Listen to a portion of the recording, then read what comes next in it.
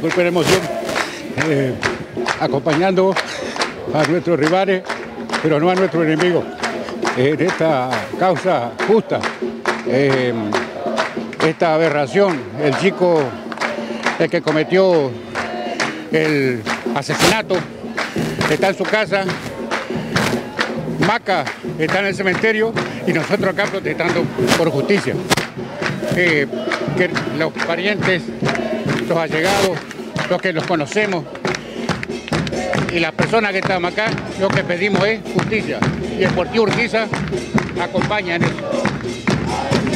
Y son muchos los integrantes del Club Deportivo Urquiza que han estado acompañando a la familia, a los amigos, a quienes eran los compañeros además en el Club Peñarol.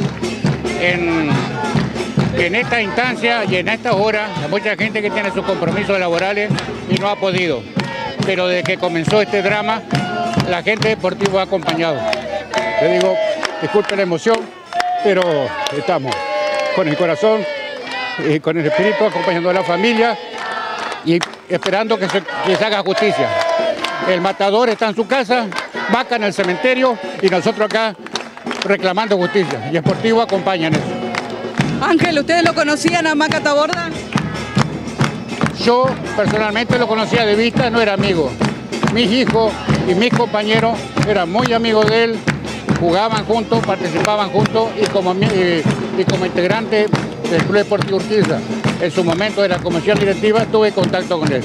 Una agradable persona, una excelente persona y si no fuera así, todas estas personas no estarían acá. Deportivo va a seguir acompañando a la familia. En todo, en todo. A la familia de Peñarol en instancias como esta. Lo repito, rivales sí, enemigos no. Y hermanos ahora.